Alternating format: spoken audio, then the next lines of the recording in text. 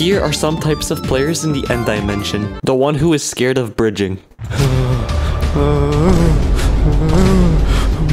gonna jump, I'm gonna jump. The one who keeps on accidentally staring at the Enderman. Okay, let's attack the dragon. Oh, I looked at the Enderman. Is it coming after me? Guys, I'm sorry. I didn't mean to. I'm sorry, please. The clumsy one. I'm gonna get you, dragon. I'm gonna get Oh! Bye! Bruh, this is so easy. The one who kills the dragon super easily. You're a bad little boy. Come here. Yeah, there we go. Good boy. Good boy.